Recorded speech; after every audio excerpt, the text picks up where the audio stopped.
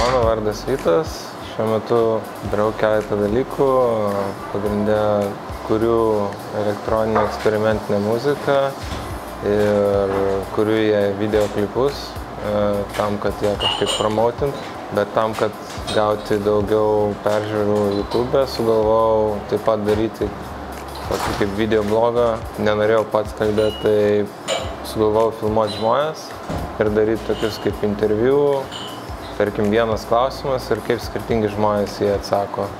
Ir bandau skirtingus žmonės nufilmuoti, bandau parodyti, kad į tą patį klausimą yra keletas atsakymų ir jau žmogus pats pagal save pasirinks, kokį atsakymą jis nori. Ieškau visur centre, kažkur vaikšto, gatvėje ar bet dabar kai šalčiau tai kažkur kavinėse. Šiaip vaikštau ir matau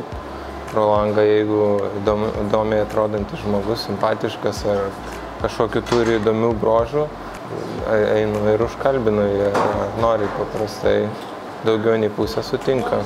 jie pirmiausia būna nustebę ir taip mane maždaug čia dabar iškart mane labai kaip įkvepia labai pakelia nuotaiką nes ateini ir žmogui pasakai, va, tu toj būsi žvaigždė, į pas juos pakyla nuotaika ir natūraliai pas mane pakyla nuotaika ir taip, dar tu užmeti kažkiek kokį džiauką ir jie to atgal užmeta ir po to baigėsi dažniausiai su gera nuotaika.